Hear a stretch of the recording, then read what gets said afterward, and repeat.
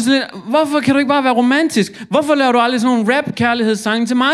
Og jeg er sådan lidt, prøv at høre, fordi det er fucking svært at rime på. Ugh.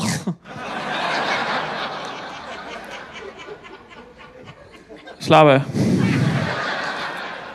Senere samme dag, jeg kommer hjem, vi spiser de der rundstykker, og så siger min kæreste til mig, Hvorfor så jeg med tænder?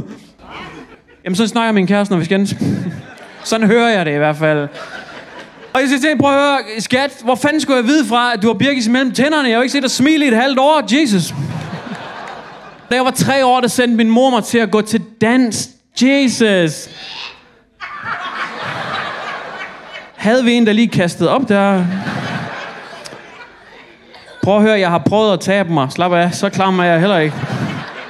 Fordi ser i dans minder ekstremt meget om den katolske kirke. Fordi små drenge er mega populære.